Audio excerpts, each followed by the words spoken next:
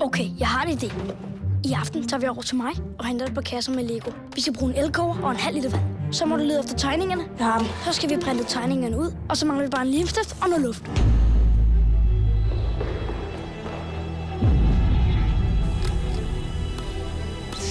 Du sørger for at få planen over skolen sat op, og så går du i gang med at lave en ruteplan for vores lille maskine. Så overvåger vi hele skolen.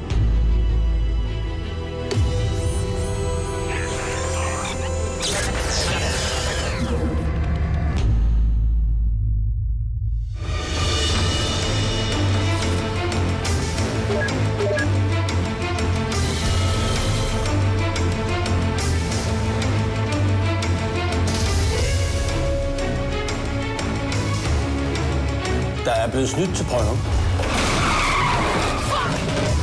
Du ødelægger det hele. Hvad fanden laver I? Ina kommer! Skynd dig! Thea, vi har aldrig talt til dig igen.